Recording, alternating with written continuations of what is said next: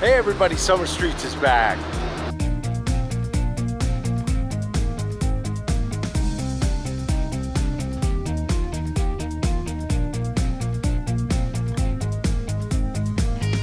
As you may know, Summer Streets is an institution here in New York City starting in 2008. We're gonna cue some grainy 4-3 footage when the DOT under Janette Sadik Khan started the program and we've had it every year except last year when it was canceled due to COVID. And now it's back and why not? It's outdoors and people are just having a ball and it's such a great way to experience New York City.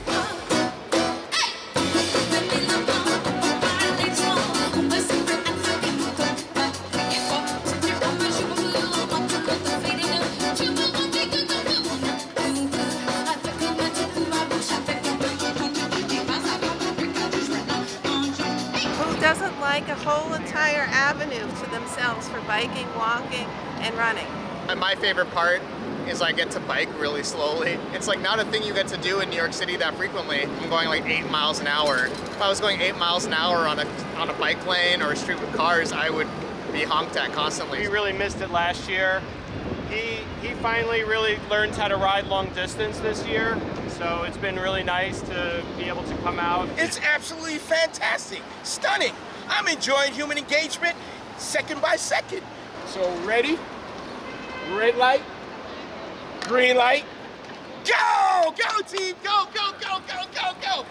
Well, surprise, surprise, last time we had Summer Streets, Vanderbilt Avenue was under construction. Vanderbilt Avenue has been a motorway for as long as I've been in New York City. And now look at it behind me. Look, look down.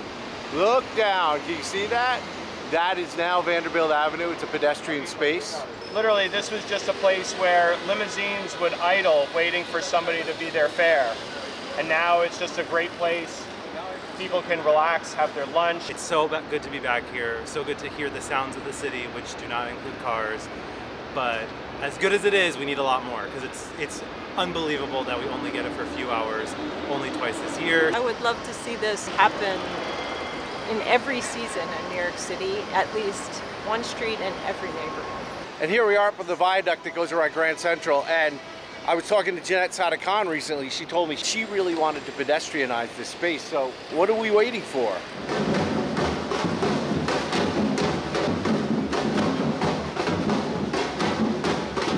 We're going to announce the People's Choice Awards for Activist or Advocate of the Year for New York City. And I love this. It's a homemade bandana. I love it with bikes on it, all different bikes. Very cute. I'm here with my nephew from Colombia who's visiting, and he was like, "Oh, this is just like 34th Avenue."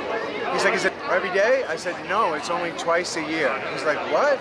And he's used to going every single Sunday with his whole family to bike all around Cali where he lives, and he was very surprised that we only do two days the entire year.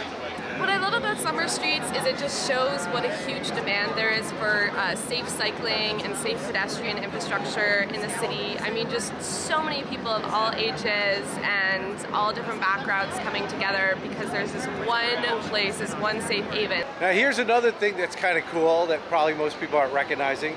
We now have crosstown bike lanes. The last time Summer Streets happened in 2019, none of these crosstown bike lanes were here. So we're making progress a little bit at a time.